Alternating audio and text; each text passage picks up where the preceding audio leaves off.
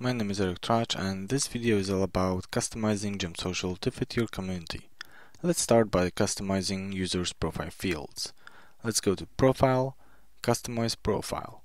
In the default profile, we have fields like gender, birth date, about me, and so on. You can see this neat table. You can put fields together in groups like basic information, contact information, and education. If I don't want a field in my community, I can just unpublish it. It's that easy.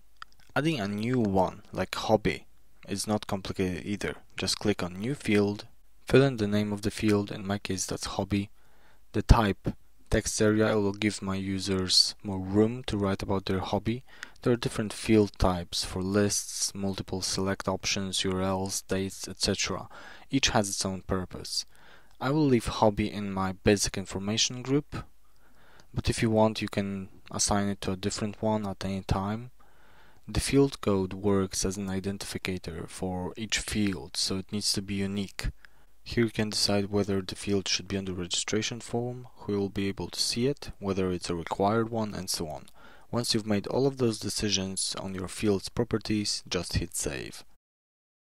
Let's go to the front end and see what the registration form looks like after all of the changes I've made.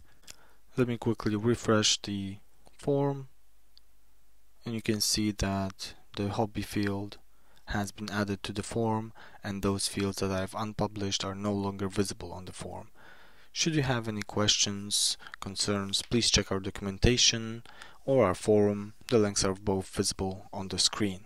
And as always, thank you for watching and have an amazing day. Bye guys.